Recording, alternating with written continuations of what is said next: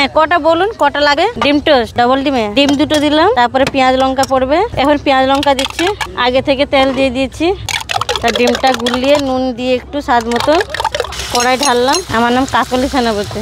আমার হাজব্যান্ড সকাল প্রায় সাড়ে তিনটা থেকে সাড়ে তিনটা থেকে প্রায় এগারোটা এগারোটার কাছাকাছি। তারপরে কাস্টমার থাকলে আরও থাকা হয় না হলে এ হয়ে যায় গুছিয়ে দেওয়া হয়। আর আমাদের আছি আমরা লোকের উপরে নির্ভর।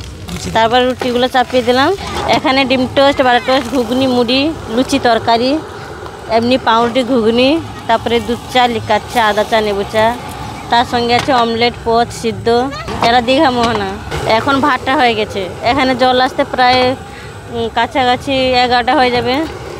এখানে চলে আসবে। তারপরে উপরে দিকে চলে যাবে আস্তে আস্তে করে। এরা ঘুগনি আছে আলু মটরের তরকারি দেখুন। দিদি ডিম টোস্ট বানিয়েছে আবার দিদিকে দিয়ে দিলাম কিন্তু সরস্বতী পুজোর জন্য খাবেন না উনি। আচ্ছা ঠিক আছে। কাউকে দিয়ে দেবেন হ্যাঁ।